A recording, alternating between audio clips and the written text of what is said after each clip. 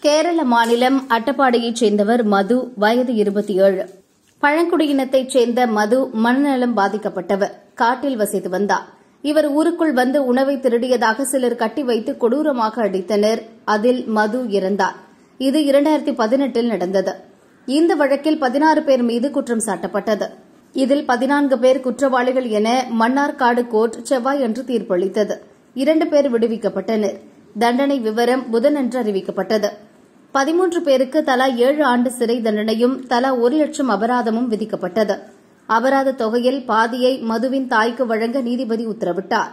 பதினான்காவது குற்றவாளியான முனீருக்கு மூன்று மாத சிறை தண்டனை ஐநூறு ரூபாய் அபராதம் விதிக்கப்பட்டது.